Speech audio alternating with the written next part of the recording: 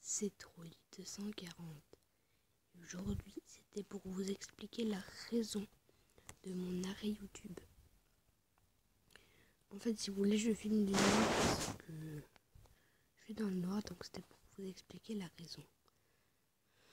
En fait, voilà, donc déjà un ami à moi euh, d'école m'a dit d'arrêter parce que c'était de la merde. Et puis euh, faire des vidéos comme ça, essayer d'avoir un rythme surtout filmer avec sa tablette.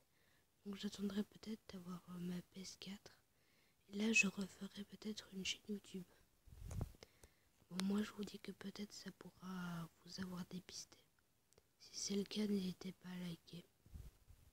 Enfin, likez pas vu que j'arrête de base. Donc, euh, salut.